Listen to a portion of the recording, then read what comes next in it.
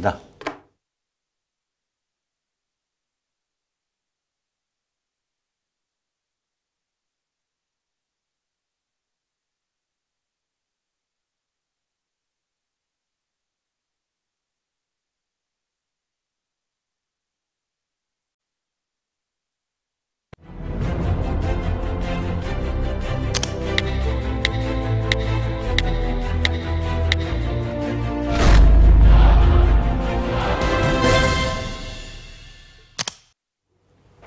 Bună ziua, bine v-am regăsit la interviurile DC News. Astăzi avem alături de noi expertul Dan Antonescu pentru a afla împreună ce se întâmplă în cazul de la Caracal. Pentru că sunt foarte multe întrebări fără răspuns și dumnealui are o experiență vastă în domeniul acesta legat de dispariții, ca n-aș vrea să zic despre crime. Uh, nu știu ce așteptări aveți de la această discuție. Îmi spuneți că aveți foarte multe întrebări fără răspuns. Eu cred că am mult mai multe decât aveți dumneavoastră. Haideți să vedem, poate găsim împreună niște răspunsuri care să aibă legătură cu realitatea. Vă rog. Aș începe de la știrea momentului faptul că anchetatorii iau amprente astăzi în Casa Groazei după șapte zile. Dar poți să le iei și după o săptămână și după două și, și de ce după nu le-au trei. luat atunci? Uh, sunt locuri într-o casă sau undeva unde e considerat locul faptei, unde nu te-ai gândi că ar putea fi niște urme, nu neapărat amprente, urme biologice sau de orice altă natură și pe parcursul anchetei, pe parcursul investigațiilor, apar elemente care îi îndreptățesc să reia această cercetare a locului faptei cu predilecție în zonele aflate mai nou și uh, să se concentreze în acea zonă. E adevărat că de la ce locuință are acest individ, această inepție arhitectonică, nu știu, ați văzut-o, nu? Cum arată, uh, e foarte dificil să acoperi întreaga suprafață uh, în, pe parcursul unei singure, singure cercetări. Uh, de exemplu, într-un pod, dacă vezi că totul este prăfuit, este nemișcat de poate de ani de zile, N-are rost să te concentrezi acolo, să dai toate acarete, toate rupturile, toate, eu știu, resturile, să le dai la o parte ca să cauți neapărat niște, um, niște umbre, ăsta, niște uh, amprente. Dacă mai nou apare o informație, cum că acolo cândva, și aici nu vorbesc de, de cele trei luni trecu, uh, care au trecut de, de când a dispărut, a dispărut Luiza, uh, putem vorbi și de ani, atunci se justifică o căutare mai amănunțită și în astfel de locuri. A fost doar un exemplu, nu știu dacă acolo este vorba despre așa ceva. Și în cazul Alexandrei știm până acum 100% sigur că a fost răpită de Gheorghe Dincă și conform Clar. spuselor fetei că a fost violată. De Da. ce doar avem atât de puține informații după o săptămână? Pentru că avem de-a face cu un om, eu zic că nu are o inteligență strălucită, dar are în schimb o viclenie la un nivel uh, destul de ridicat. Uh, Avem de-a face cu un om care minte în, uh, sub aspectul uh, sincerității. Am să traduc ceea ce am spus acum. Uh, El recunoaște, paradoxal, recunoaște foarte repede comiterea celor două crime. Dar minte cu privire la felul în care a scăpat, cu ghilimele de rigoare, de unul dintre cadavre. Și aici mă refer, conform spuselor lui, la Alexandra. A mințit, acum treaba anchetatorului este să afle de ce a mințit. Pentru că dacă tot ai recunoscut comiterea faptei, pe ce mizezi? Fie pe uh, negăsirea cadavrului în speranța că nu vei fi condamnat în lipsa acelui cadavru sau nu e vorba de un cadavru, dar tu ai nevoie să tragi de timp. Pentru cine, iarăși trebuie să răspundă anchetatorii sau avem varianta pe care nu o doresc câtuși de puțin viabilă, avem de-a face cu un individ care mai are niște fapte la activ și care are un loc, un loc pe care el îl consideră sigur, unde ascunde cadavrele. Ori dacă le-ar arăta anchetatorilor unde a dus cadavrul Alexandrei, poate și al Luizei, el se teme ca acești anchetatori să nu cumva să găsească și celelalte cadavre. Vedeți? El poate fi un om care n-a omorât pe nimeni. Poate fi doar un intermediar uh, sau, mă rog, uh, un soi de angajat al unei rețele de trafic de persoane. Și preferă să își ia o faptă care nu poate fi dovedită, aceea de omor, cea de răpire, clar, nici nu se pune problema, este dovedită, preferă să-și ia fapta de omor care nu va fi niciodată dovedită, dar, uh, trăgând de timp, știe că persoanele căutate, Alexandra, Luiza, sunt deja pe un drum uh, unde uh, nu, vor, nu, vor, nu vor mai putea da declarații foarte mult timp. Dar la un moment dat ar putea da.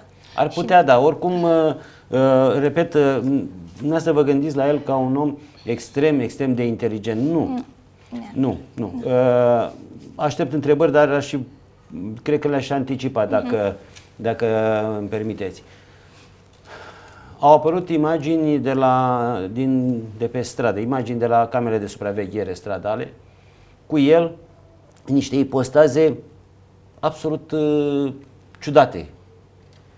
El este un om care uh, face taximetrie. La negru, dar o face.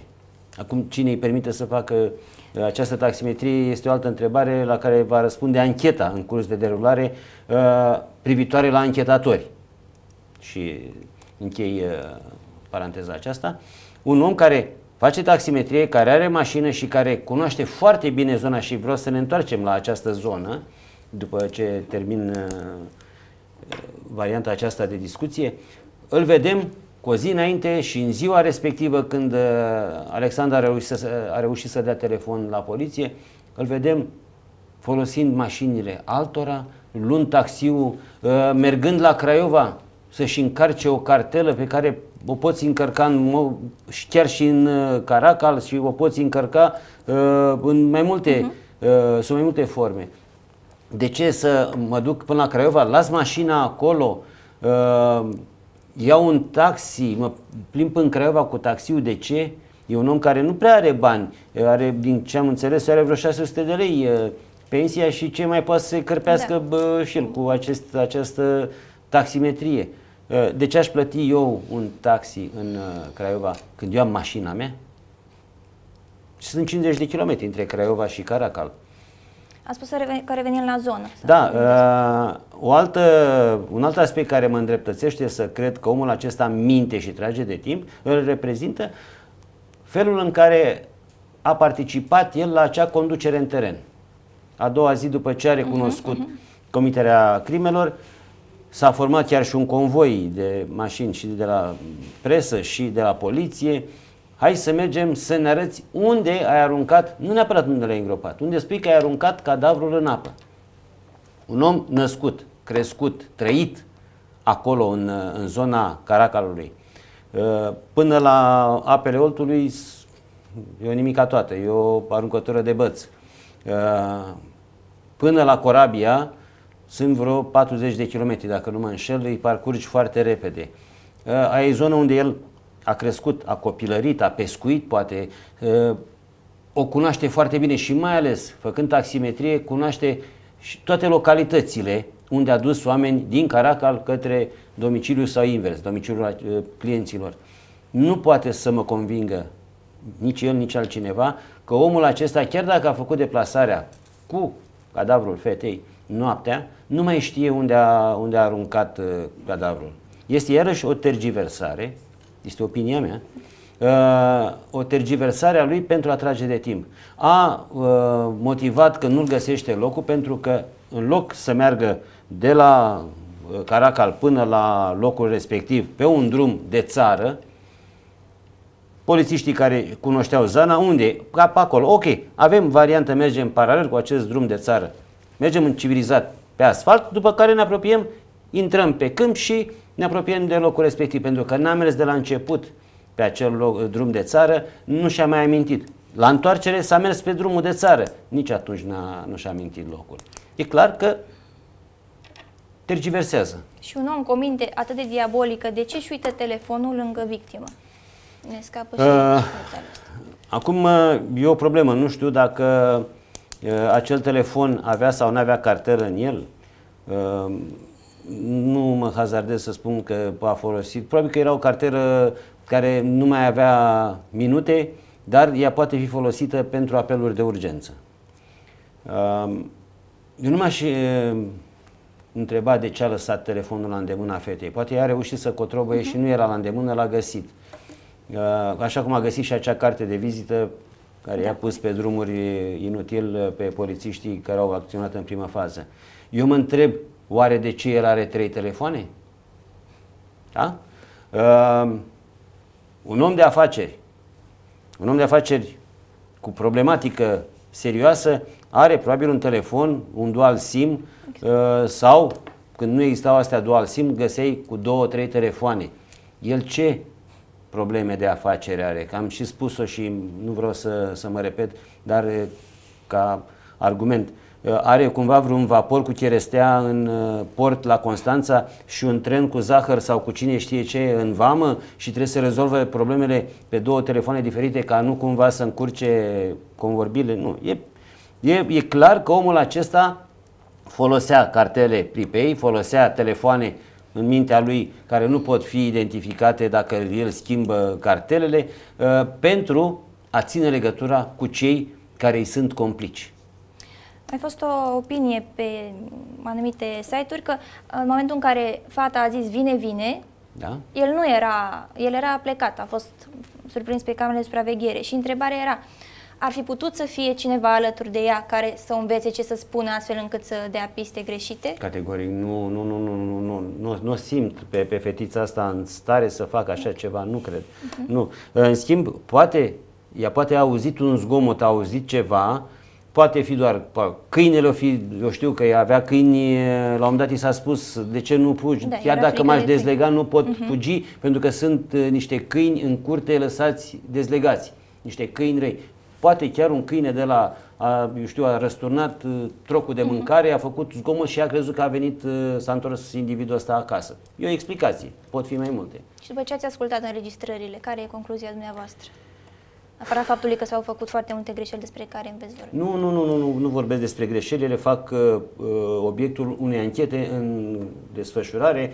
Dacă vor fi găsiți vinovați, vom vedea și apreciem atunci sancțiunile dacă sunt îndestulătoare sau dacă sunt uh, neserioase, dar asta este un alt subiect. Abia la sfârșit, exact ca și în cazul infractorilor, și acești polițiști sau procurori sau cine a greșit, beneficiază de prezumția de nevinovăție, poate cel mult de, știu, mai puțin profesionalism sau cine știe ce.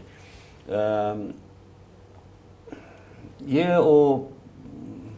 Ceea ce s-a întâmplat acolo, ceea ce am auzit de la, de la fetița asta este dureros și mi-a dat, mi-a demonstrat că avem de, de a face cu o fetiță extrem de inteligentă, aflată într-o situație de criză, aflată aproape în panică, era aproape în panică, era disperată uh, și cu toate acestea, ați remarcat și dumneavoastră, mai dacă ați auzit, ați ascultat-o direct sau doar transcriptul, uh, nu și-a permis să vorbească urât. Vorbea cu Domnul despre Domnul, un om despre care... exact. Care, Asta da. denotă uh, că acest copil este un copil educat, un copil manierat, care nu a auzit și nu a văzut uh, lucruri urâte în familie. A fost crescută absolut corespunzător și uh, chiar uh, mai, mai, mai sus decât această apreciere. Foarte bine educată. E, uh, fetița aceasta a avut inspirația, dar sub impres, uh, imperiul panicii uh, n-a reușit să dea multe amănunte. Poate nici nu înțelegea ce o întreabă cei de la, de la poliție, de la, mă rog, de la dispecerat ea a comunicat cam ce vedea. Nu încerc să le găsesc vreo, vreo scuză celor uh, care acum sunt sub anchetă. Ea spunea de o poartă roșie și toată lumea a crezut că poarta aceea gri, pe care o vedem de câteva zile obsesivă pe toate televizoarele, uh, credeam noi că acea poartă pe interior este dată cu grund și de aia a spus ea roșie. Eu cred că se referea la poarta roșie, cea din spatele Spate. curții. Uh-huh. Uh, aș face un comentariu scurt și mă bucur că la un moment dat uh, cei din cei în măsură să, să ia decizii uh, au sesizat nu numai aprecierile, nu neapărat pe ale mele, că eu vorbesc de mult timp, nu știu dacă mă interesează pe ei sau nu, dar s-au ridicat și cei de la sindicate cu aceeași problemă și polițiștii, nu neapărat prin reprezentanții lor sindicali, uh, au ridicat problema clară a instituției sectoristului. Care a fost, pe care nu mai avem. Nu mai avem da. pentru că așa s-a vrut.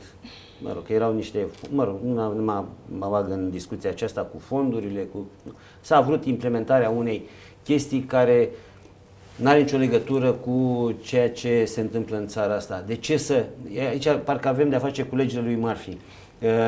De ce, dacă, dacă, de fapt, dacă ceva funcționează bine, sigur vine cineva să-l perfecționeze, să perfecționeze acel ceva uh, și îl perfecționează până îl strică.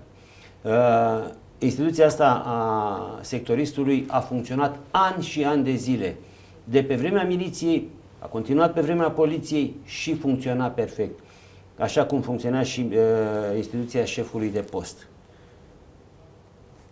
Mai mult nu spun. Cine poate repara chestia asta, să o facă pentru că uh, una este să te duci să vorbești cu un om care, săracul, e, e un, are un traseu meteoric, se duce până toate comunele, mai vine înapoi și are un singur punct unde îl găsește uh, cetățeanul, contribuabilul găsește după un anume orar, îl găsește câte o oră, că el altfel trebuie să fie prin toate comunele și sunt toți adunați într-un loc.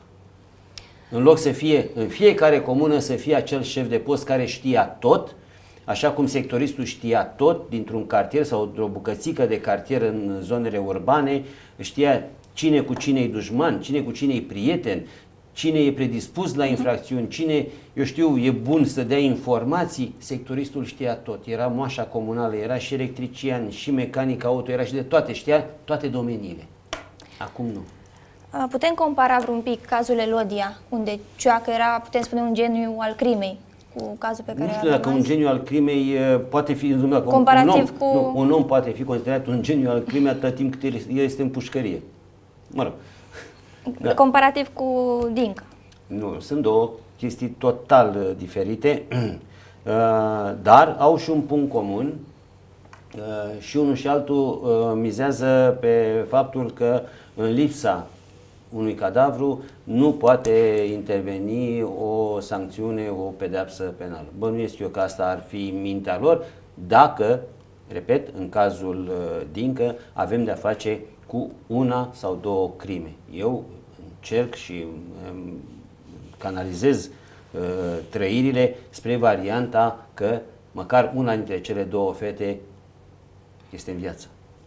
Dacă nu, amândouă ar fi, ar fi ideal. Chiar dacă Prima e deja pe traiectoria pe care au urmat-o, din păcate, foarte multe fete uh, care au fost victime ale traficului de persoane, ale abuzurilor și exploatării sexuale. Avem și câteva întrebări de la cititori. Dacă a ucis-o pe Alexandra și i-a dat foc, ce s-a, ce s-a întâmplat cu sângele? De ce nu există nicio urmă? În primul rând că această variantă cu incinerarea cadavrului uh-huh. nu este susținută câtuși de puțin. În prima zi când a făcut această afirmație l-am combătut, chiar și la uh, dumneavoastră. Și uh-huh. pe, unde, pe unde am fost întrebat am spus clar, eu având în spate ani și ani de zile, aproape 20 de ani de, de lucru în domeniul acesta al crimelor, am văzut o mulțime, poate chiar prea multe, cadavre carbonizate, cadavre care au stat ore, și, ore în șir într-un incendiu, în mașini incendiate, Uh, cadavre cărora li s-a dat foc intenționat, s-a turnat benzină, s-a făcut orice ca să dispară. N-au dispărut. Și ulterior, acum două zile, dacă nu mă înșel, a apărut pe post fostul director al crematoriului uman și a dat și plus, am mai citit și despre declarația unui fost fochist de la uh-huh. un crematoriu uman, ambii au spus aproape același lucru. Pentru a incinera un cadavru, ai nevoie de cel puțin trei elemente. 1. Un cuptor special. 2. O temperatură de cel puțin 1200, dar ideal este spre 1400 de grade. Și 3. O perioadă de timp. Da. Cel puțin o oră. Uh-huh. Acum, toate aceste elemente sunt completate de, de unul care e, poate, poate fi sesizat de oricine. Or, el putea să mascheze un astfel de cuptor. Nu există acolo, dar să zicem că l-ar fi avut și l-ar fi mascat nu putea să facă, să îndepărteze acel, acel element care, care este de neîndepărtat. La crematoriul uman este, există un coș pentru fum, care în primele 15 minute, când de la acea, acel început de ardere se emană un miros înfiorător, acel coș este ajutat cu o pompă de aer sau nu știu ce dispozitiv care să arunce și mai sus decât este înălțimea coșului fumul respectiv, tocmai e, pentru a nu se simți în jur. Și cu toate acestea, spunea directorul de la e, crematoriul uman, e, cu toate acestea, locuitorii din zonă, când și când mai fac observație că e un aer e, cu un miros greu de suportat. Ori dacă în Caracal un om ar fi uh, încercat să incinereze câteva ore, pentru că neavând cuptor ar fi trebuit să lucreze foarte mult uh, la această activitate, uh, vă, uh, sunt convins că lumea ar fi sezizat uh, ceea ce, ce spuneam eu mai devreme, acel miros și acel fum. Și în contextul în care nu se vor găsi cadavrele, ce piste ar trebui, pe ce piste ar trebui să se mai meargă? Eu îmi doresc să nu fie găsite cadavrele. Eu îmi doresc să fie găsite fetele în viață. Când spuneți Unde or că fi ele? vă doriți, pe ce vă bazați? Uh, pe această tragere de timp, tergiversarea lui, uh, pe faptul că el e clar și există informații, nu putem să devoalăm foarte mult, uh, există informații care are legătură cu uh, traficul de persoane, chiar era parte într-un dosar sau suspect într-un astfel de dosar, de aceea era în atenția DICOT-ului, uh, pe faptul că acolo, în zona aceea, răpirile și ulterior plasarea uh, fetelor în rețele de prostituție nu e neapărat ca un sport național, dar este aproape la ordinea zilei. Sunt câteva elemente, plus cele pe care vi le-am afirmat mai devreme și unul pe care, uh, nu știu dacă e bine să-l, să-l și spun, îl gândesc. Uh, un individ din acesta dacă se confirmă faptul că este cel care uh, îndeplinim niște condiții și dacă uh, vă notați acolo când uh, spun condiții o să revin asupra subiectului, uh, îndeplinim niște condiții, avea sarcina să puncteze, să răpească și să transporte până la cei care aveau uh, posibilitatea să mute fetele în altă parte, uh, el primea, primea ca bonus uh, posibilitatea ca o zi, două Să stea să pe el. beneficieze de ele. Cu ghilimele și cu scuze pentru subînțeles. Uh, această afirmație este cumva confirmată și de faptul că el a văzut că atunci când a legat-o pe fata asta cu sârmă sau cu ce a fi legat-o, i-a produs niște răni. Dacă tu aveai de gând să o violezi și după aia să o omori, nu te De mai ce duceai aveai să grijă? cumperi medicamente cu care să-i oblojești rănile. El avea obligația, în schimb, să livreze marfa, așa consideră ei că e o marfă, uh, în bune condiții. Mai vreți argumente? Să revenim la condiții. Ați spus că Condiții. reveniți la condiții. Uh, omul, deci asta discutam ieri cu, uh, ieri sau la altă ieri, cu un om pe care îl prețuiesc foarte mult, doamna doctor uh, medic, e doctor în psihiatrie, Rodica Năstase, uh, cu care de multe ori m-am uh, sfătuit și uh, discutând cu dumnea ei am constatat că ideile noastre coincid. Și uh, l-am considerat pe acest om și am găsit niște uh, calități, cu ghilimele de rigoare, uh, indispensabile unui om care avea sarcina să facă ceea ce uh, spun eu că a făcut. Una, are probleme psihice. Da? E cunoscut acest fapt, se vede și din comportamentul lui. Doi, uh, cu toate care probleme psihice, el e posesor de permis de conducere. Oare de ce? A cui e vina? A medicului care l-a tratat și care n-a anunțat așa cum avea obligație? El, trei, făcea taximetrie la negru. Știa lumea de acolo că nu este uh, un, cum e Bucureștiul, să locuiesc în Ferentari, să fac taximetrie în Titan sau Cine a cum să uh, în știe, Băneasa. Nu mă știe lumea de acolo. În Caracal toată lumea se știe cu toată lumea. Era clar, era știut că el asta face. Sub umbrela cui? Avea o protecție. Protecția aceea înseamnă apărare în caz de nevoie, dar și contracostul ei. Cine achita acest contracost al uh, umbrelei? Da? dacă era prins, avea vreo problemă că uh, a răpit vreo fată sau uh, până să, să apuce să o imobilizeze, el avea oricând uh, scuza, fac domnule și o taximetrie, uh-huh. că uite ce pensie, da. am 600 de lei, lasă-mă să trăiesc și eu, da? Deci toate condițiile astea acumulate îl făceau pe el ideal și este ușor de manipulat. Dacă ai reușit să, la intelectul lui, dacă ai reușit să-i impui niște reguli, niște obligații, uh, el va executa fără crâgnire, pentru că îi vin niște bani de acolo, își satisface pornirile sexuale aberante de fiecare dată când reușește să răpească o fată și, doi, îi vin și niște bani și poate să își desfășoare activitatea cumva sub uh, acoperirea, sub uh, indulgența, cu ghilimele de rigoare, uh, a celor care ar fi trebuit să-l oprească de mult. Credeți că vecinii știau ce se întâmplă acolo și totuși de ce n-au spus? Nu știu dacă vecinii știau, pentru că nu știu dacă ați observat, acolo este o fortăreață. Da, dar... Nu este ceva, uh, vecinul avem niște stinghingar și mă uit printre ele să văd ce face vecinul, sapă grădina sau eu știu uh, cine știe ce stă la soare și face plajă. Nu, el a avut grijă, inclusiv ferestrele care deau spre uh-huh. vecini, erau zidite ca să nu se vadă ce face înăuntru. Deci le-a fi zidite problema lui, probabil că îl trăgea curentul, uh, sunt scumpe sticlele da. de geam. Uh, acolo el a avut o fortăreață uh, de care s-a folosit mult timp și figura lui atunci când a fost uh, fotografiat încătușat după ce au intrat și forțele zâmbea. de intervenție. Și zâmbi la un moment dat. Uh, nu, nu era a omului uh, lovit de polițiștii care l-au imobilizat. Nu, mm-hmm. era omului șocat că acolo, în sanctuarul lui, și-a permis cineva să intre și să facă altceva decât ceea ce vrea el.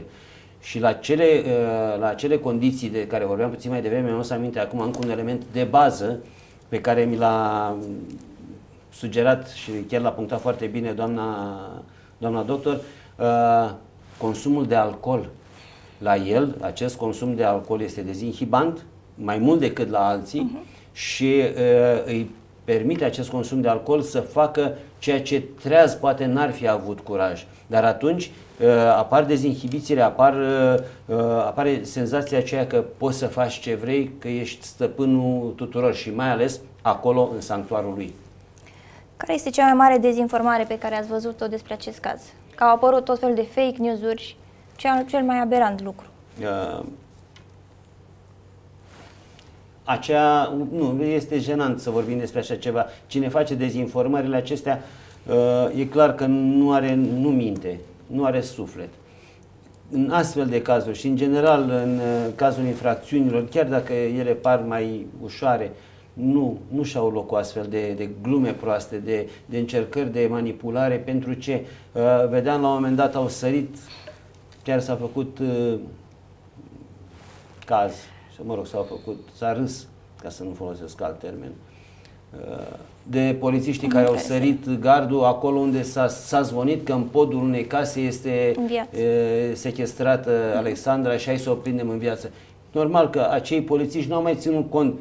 Să mai uite, o fi poarta deschisă, nu o fi deschisă, au sărit fără discuție, pentru că așa se intervine. În cazul în care există o situație Uh, cum sunt cele prevăzute în articolul 20 din Codul Penal, starea de necesitate, nu mai e nevoie nici de uh, mandat de percheziție, nici de aducere, nici de nimic.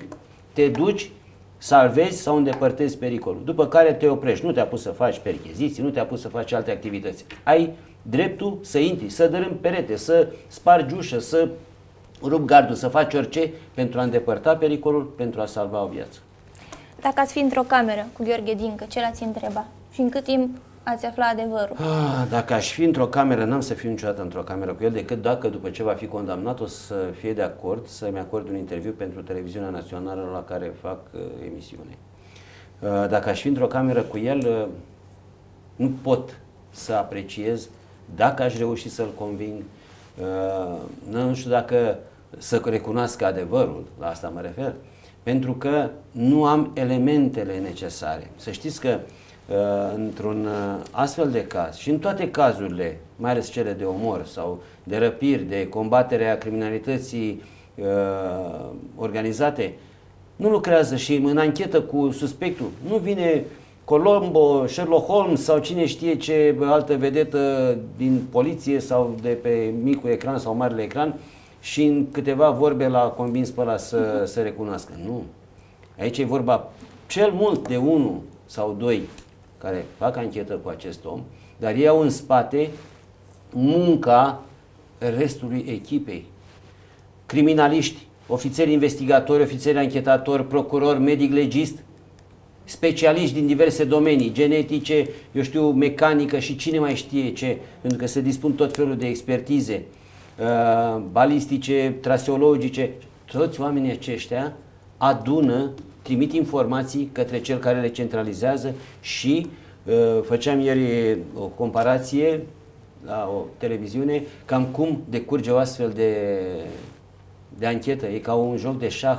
Numai că eu, de fiecare dată când colegii dacă mă pun da. așa, eu în postura de anchetator, când colegii mi-aduc câte o informație referitoare la un alibi care nu se susține, la o probă biologică, la, eu știu, imagini văzute, obținute după camerele de supraveghere. Eu, în fața mea, nu mai am două rânduri de piese. Încep și mai îmi pun încă un rând. Uh-huh. Și încă un rând. Dar toate alea le iau de la el. Și când începem partida de șah, el se trezește că are regele și un pion sau doi, sau niciun, niciun pion. O să fie o, o uh, partidă de șah inegală, dar la fel de inegală a fost partida sau lupta lui cu victima. Așa că pe cale de compensație, eu zic că e bine. Pentru că spuneați de luptă inegală, făcea cineva un comentariu că lui a luat foarte puțin să o facă pe Alexandra să dispară, iar specialiștii noștri nu reușesc să afle... Specialiștii noștri fac ce pot, uh-huh. uh, dar credeți-mă, au fost situații când s-au rezolvat cazuri în ziua respectivă, chiar dacă era autor necunoscut, cele cu autor cunoscut nu mai are rost să discutăm da. despre operativitate, în aceea zi s-a descoperit victima, în aceea zi a fost descoperit și autorul. Că așa s-a întâmplat, așa a fost situația. Au fost situații când, după 14 sau 15 ani s-au găsit, mă scuzați, s-au găsit uh, autorii.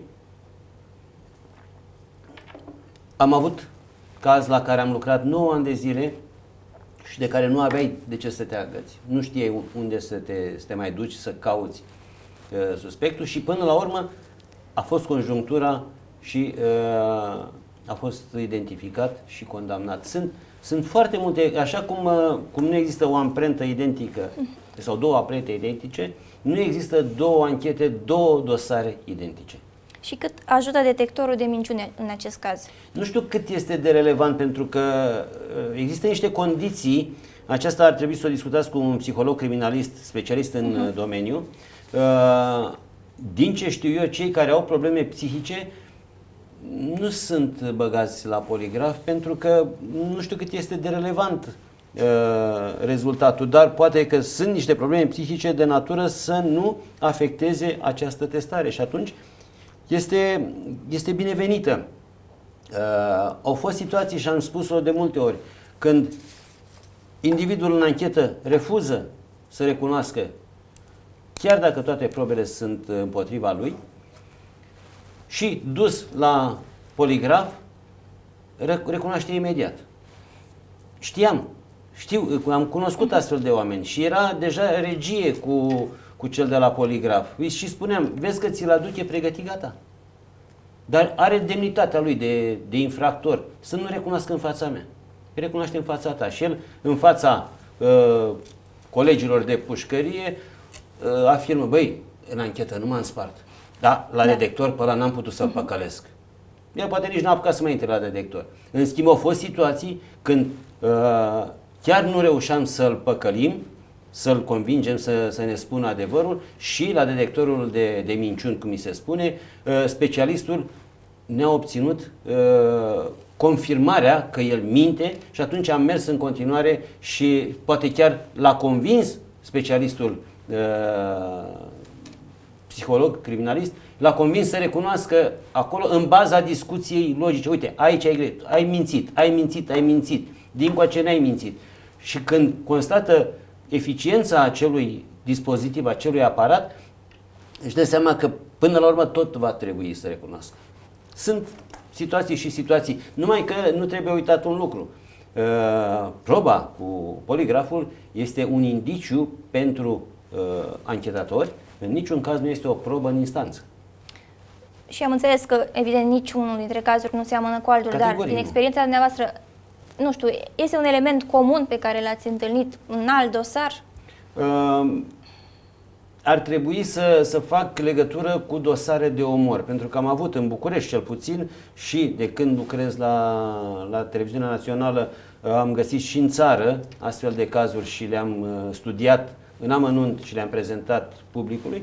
Uh, ar trebui să admit că cele două fete sunt moarte, ca să pot Da, face o corect. paralelă cu cazuri similare în care au existat victime, uh, oameni, ca, femei în special, care au fost omorâte de criminali în serie. Până nu am uh, dovada că cele două fete sunt moarte, nu pot vorbi de el ca despre un criminal, cu atât mai puțin ca despre un criminal în serie. Dar, dacă vreți să, să uh, amintim, avem din 90, în 93 și în 2000, am avut astfel de, de cazuri de criminali în serie.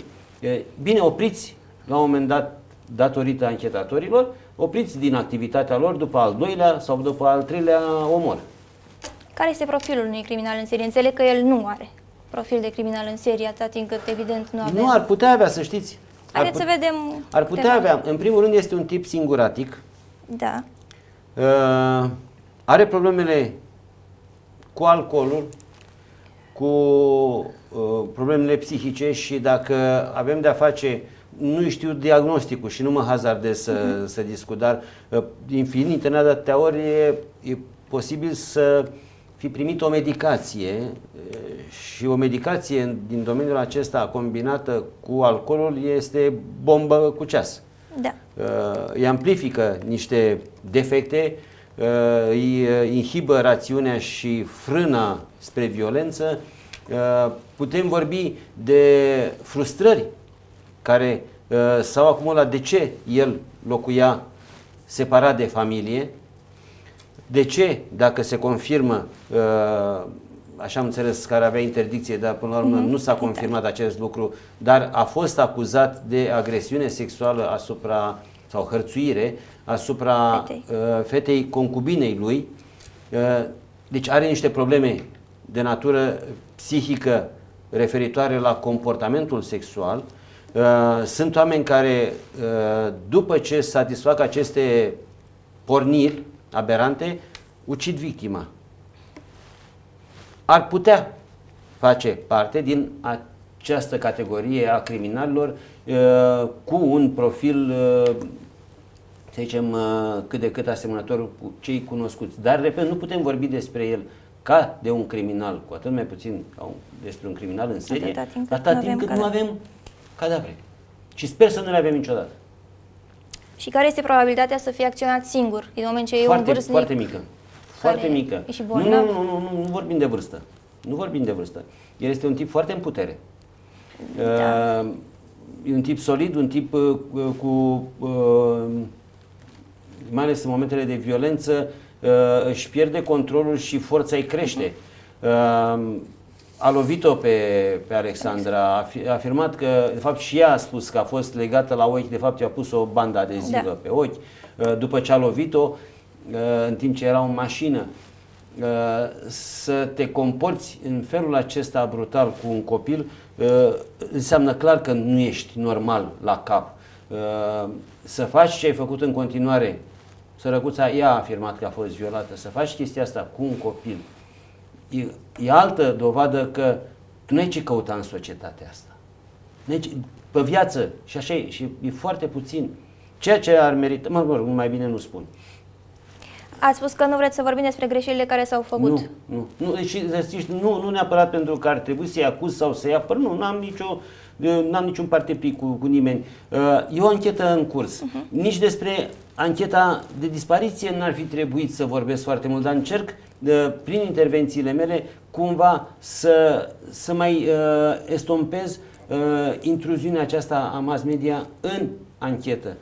Am lucrat în anchete grele știam, erau jurnaliști atunci puteau să intre în Poliția Capitală, erau la ușa biroului. Nu puteam să aduc pe nimeni, nu puteam să duc pe nimeni uh, până când nu făceam o anume regie, ca să putem să, să ne deplasăm. Acum este un control riguros, se poate discuta cu, cu poliția numai prin intermediul portatorului de cuvânt, ceea ce nu este rău deloc.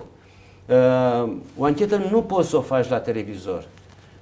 Credeți-mă, în opinia mea, ancheta, că tot vorbeați de cazul Cioacă, uh, a fost îngreunată tocmai pentru că uh, toată lumea avea păreri, toată lumea voia să vadă, să știe cât mai mult. Iar seara la o anume televiziune uh, era, era ce să spun, era, era a cincea anchetă deja, erau cu 15 pași în fața anchetatorilor, dar numai pentru rating. Nu, nu, nu, nu făceau uh, din dorința neapărat de a uh, uh, descoperi ei unde este cadavru sau cât de vinovat este cineva. Nu. Au profitat de acest lucru. Acum nu acuz că asta uh-huh. se întâmplă acum. Acum noi avem uh, dorința și obligația să le găsim pe aceste fete. Și aici cumva este justificat uh, interesul media și uh, cumva intruziunea în, uh, în zona anchetei. Dar dincolo, era clar că nu mai avem de-a face cu, cu cineva în viață. Chiar dacă s-a vehiculat și chestia asta pentru a mai lungi acel, acea telenovelă de prost gust. Aici și noi, oamenii, suntem revoltați da, și ratingul, da, evident că îl facem tot noi, în care ne uităm, că când vede, adică oamenii au senzația că nu se face nimic și că se bate pasul pe loc și, și au senzația că jurnaliștii fac munca este, uh, Într-o astfel de anchetă, partea secretă a urmăririi penale este foarte importantă întreba cineva, domnule, când s-a făcut solicitare la compania de telefonie să transmită nu știu ce? Un om normal la cap în ancheta aceasta are niște priorități, există niște proceduri pe care trebuie să le respecti în tocmai, uh, tocmai pentru a câștiga timp. Dar m-aș lega de altceva. Mi-au să aminte acum, chiar și noul ministru de interne l-am văzut venind încoace, înainte să plec de acasă, l-am văzut uh, dând o declarație la televizor, referitoare la acele propuneri legislative, inițiative legislative. Și aici mă refer în special la birocrația existentă uh, în domeniul acesta al obținerii mandatelor de interceptare, de uh-huh. localizare. Păi în cazul unei dispariții, mai ales de copii, dar dispariții în general, că sunt copiii foarte importanți. Dar și... Dar și ceilalți sunt importanți și un minut este foarte important în uh, găsirea celui dispărut. Păi dacă îmi vine mie acum, eu, ofițer de serviciu la secția nu știu care, vine un părinte și îmi spune, mi-a dispărut copilul. Când? Acum două ore. L-am văzut când se juca, am făcut curățenie, a durat vreo oră, oră și ceva, când m-am uitat afară nu mai era. Îl sun și are telefonul închis. Eu, polițistul, ce fac? Ce pot să fac? Dăm repede numărul lui, îi anunț pe cei de la judiciar, dispariție, se apasă butonul, uh-huh. simbolic apeși butonul, da. se declanșează acea alertă răpire copil și în baza acestei alerte, a numărului obținut de la părinte, eu, polițistul investigator, am tastat numărul și în secunda a doua ar trebui să-mi apară listingul din ultimele două ore, din ziua respectivă, poate. Să văd către cine a dat ultima dată telefon. Cine l-a apelat ultima dată? Cât a durat convorbirea? Deja am niște piste, am, am unde să mă îndrept. Uh, o să spună lumea că iar ne întoarcem la securisme. Acele cartele pripei sunt mană cerească pentru uh, cei care vor să fie identificați cât mai greu sau deloc. Asta este problema. Așa s-a vrut, nu mă interesează. Eu sunt un om cinstit și mi-am cumpărat abonament. Da. Dar sunt alții, cum este acest individ, care avea trei telefoane, nu le avea ca să eu știu, pe unul juca nu știu ce jocuri, pe unul vorbea cu soacra și pe unul cu copilul. Nu. Le-a cumpărat și le folosea trei telefoane în, în alte scopuri și foarte greu de detectat. Pentru că schimb cartele, schimb telefoane, Uh, te știi cu musca pe căciulă și faci astfel de activități cum au fost cele de ieri, aralt, mă rog, înainte de, de a fi reținut, uh, când s-a plimbat prin Craiova, s-a plimbat prin Caracal, a aruncat bijuterii, au fost recuperate. Și într-o țară normală n-ar fi trebuit ca telefonul mamei să fie pus sub ascultare din moment ce a fost sunată de Dincă? Și după aceea s-a spus, a spus domnul Cumpănașu că a fost sunată de chiar 30 de ori mama și nu vorbea acea persoană la telefon. Vorbim de mama lui Zei. Uh, da. Și da. Și cum, Să știți că și, și această, acest telefon uh, pus sub ascultare se face tot în baza unui mandat. Polițistul îi propune procurorului sau procurorul poate avea inițiativă. Dar degeaba au ei două inițiativă stând de acord dacă judecătorul nu este de acord. O interceptare, o, o supraveghere uh, a unui telefon costă foarte mult, să știți. Dar, indiferent cât de mult ar costa, este infim față de valoarea unei vieți. Așa trebuie pusă problema. Și unde considerați că ar trebui să mai fie căutate fetele? În afară de Carac. Aici intervine uh, posibilitatea de penetrare a polițiștilor bine informați în rețelele acestea de crimă organizată, de trafic de persoane, uh, pentru a afla, în cazul în care ele au fost racolate pentru astfel de, de activități, uh, pentru a afla unde sunt, cine, când, cu ce mijloace. Numai că și domeniul acesta al traficului de persoane reprezintă o castă cu niște reguli extrem de dure, uh, în care se pătrunde extrem de greu. Sunt oameni verificați și răzverificați până sunt acceptați în uh-huh. aceste grupări și sancțiunile celor care greșesc uh, de cele mai multe ori sunt de domeniul 9 mm, 6,5 sau cât, cât o mai fi, uh, nu se discută altfel. Sancțiunile sunt extreme.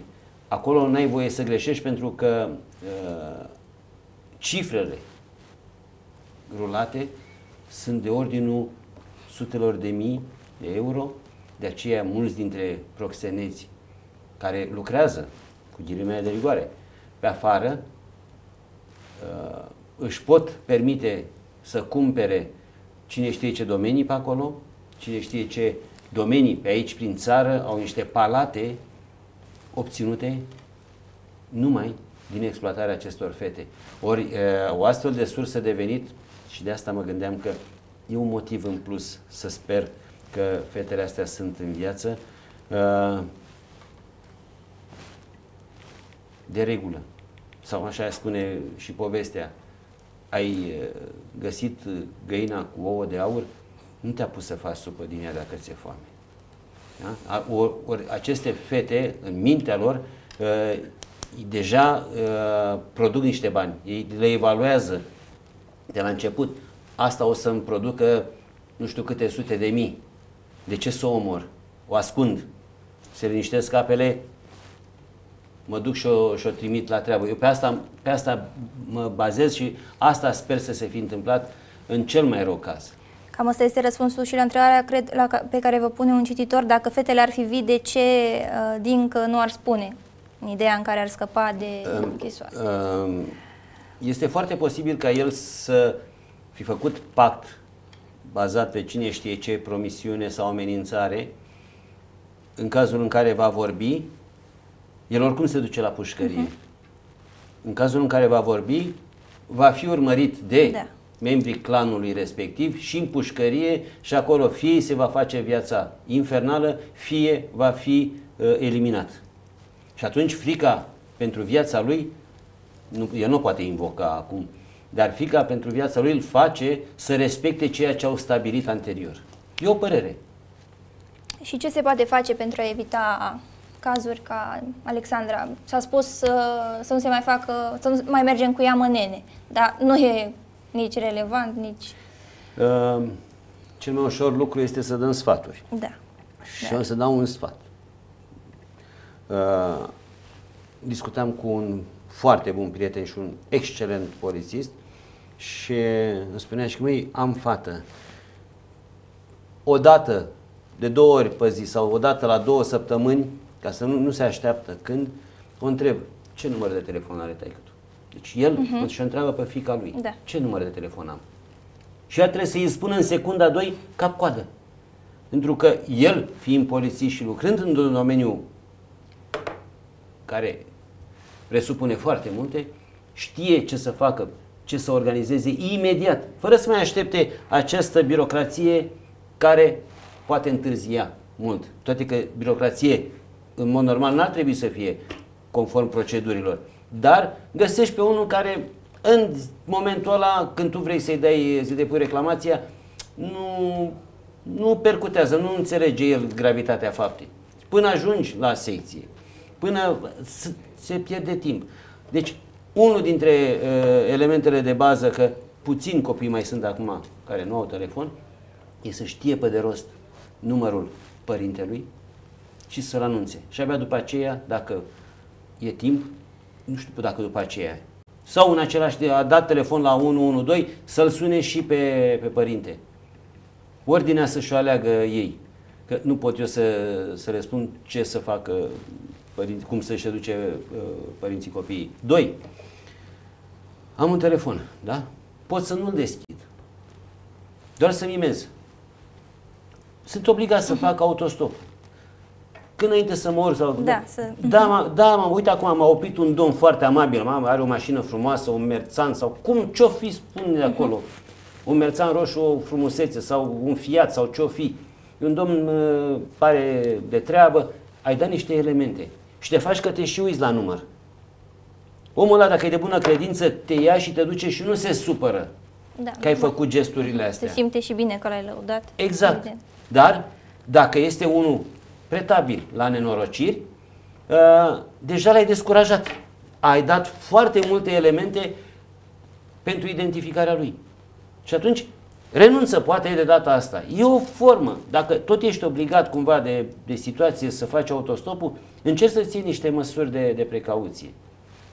Sau când te-ai urcat, ai format numărul mamei, prietenului, cine o fi el, soțului, îl lași telefonul pornit. Să fie o înțelegere. Omul ăla care e la telefon în partea cealaltă vede cum decurge discuția. Dacă e liniște și pace, toate în regulă. Dacă ceva se întâmplă, poate anunța, domnule, acum 5 minute s-a urcat din zona putare într-o mașină, nu știu exact ce, dar în 10 minute s-a întâmplat ceva în mașina aia. Poliția are niște elemente. Pornesc de aici în direcția asta la altă. Cât putea să facă în 10 minute? 10-15 kilometri. Am blocat Da. și pot să verific. Sunt câteva elemente pe care uh, nu neapărat să devenim paranoici, dar sunt reguli de, de apărare a propriei persoane. Și poate ar fi salvat-o pe Alexandra dacă făcea un lucru minimal pe care le-a spus unul dintre ei. Și mai sunt variante, pentru că uh, românii sunt oameni inteligenți uh-huh. și, și uh, inventează repede orice uh, poate să le facă bine. Și în încheiere, un lucru care nu s-a spus despre acest caz. Păi, Nu s-a spus și n-am să spun nicio. Și Nu știu la- la ce vă- vă O referiți. concluzie, să titrăm așa ipoteza lui Antonescu, după câte s-au spus în presă. Ipoteza, eu mi-am uh, devaluat-o de-a lungul discuției noastre, care sper că n-a plictisit uh, auditoriul. În Am primul- speranță, Da. am speranță că fetele sunt în viață. Dar poate Și dacă dura acele și ani. fragmente osoase, chiar dacă ele sunt de natură umană, am încercat eu să găsesc așa în uh, felul meu pozitiv de, de a gândi, în, uh, în speranța că nimeni n-a pățit nimic rău sau mai rău decât ce s-a întâmplat până acum, răpire, viol, uh, acele fragmente osoase să nu fie decât rezultatul unor alte mici găinării de ale lui Dincă. Să nu uităm că sunt foarte mulți cei, studenții de, de regulă, uh, studenții la medicină care au nevoie ca material de, didactic Da. de o seminte, de, eu știu, un femur, un craniu, ceva. El a avut foarte multe activități de reparat, de construit în uh, cavouri, în uh, cimitir. Este posibil să fi sustras de acolo niște oseminte, să le vândă studenților care probabil că erau interesați. Să Da. știți că pe, dacă intrați pe internet o să, o să vedeți că Mhm, sunt căutate astfel de, de piese, cum spun ei. Am nevoie de o piesă. Ce? Uh, Femur, uh, radius uh, sau ce mai, ce mai aveai nevoie. E, și când a rămas cu uh, marfa nevândută, a pus-o pe foc. Dar acolo e un arzător care, uh, în care el uh, incinera, să spunem așa, chestii care nu-i mai trebuiau. În niciun caz nu, nu a avut acolo, uh, la incinerat, un cadavru. Vă mulțumim și vă mai așteptăm la noi. Sperăm cu vești bune să fie găsite în viață Doamne cele două ajută. fete. Mulțumim, la revedere!